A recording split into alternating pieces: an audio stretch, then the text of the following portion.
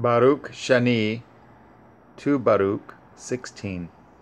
And I answered and said, O Yahweh, my Adonai, lo, the years of this time are few and evil.